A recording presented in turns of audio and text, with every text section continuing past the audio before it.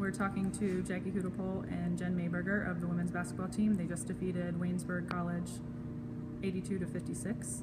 Uh, ladies, how do you feel the season's going so far?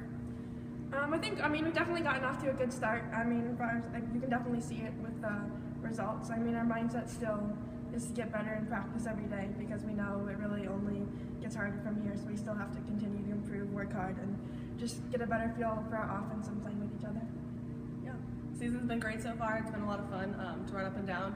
We're definitely looking to, um, you know, get better as Jackie said as the season continues. But so far, so good.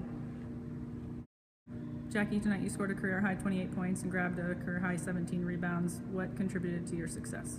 Um, I mean, I definitely have to say it was my teammates. I mean, probably half of those came off passes from Jen. I mean, a, a lot of them, but seriously, like a lot of them, I mean, are coming from either pushing the ball or within the flow of the offense. So for a lot of those, I mean, I'm not having to create my own shot. I mean, I'm just making it, and tonight a lot of them went in. So most of the credit has to go to my teammates.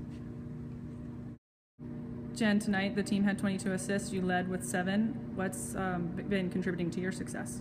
Um, I would definitely say the main factor is just like trusting my teammates, and they definitely make my job easy. And passing it ahead to Jackie or Lisa, like I definitely just can throw it there and trust that they're gonna take it and score. And I think so far the team chemistry has been really great.